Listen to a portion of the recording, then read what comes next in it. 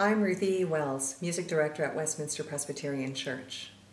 I've written a short meditative chant or sung prayer for you.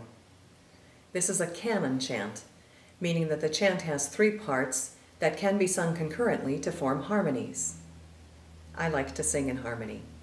So you can either sing with me through the three successive parts, or you can enter on the first part of the chant as I move on to the second part and create a harmony. The words are very simple. I will magnify the Lord and bless God's holy name.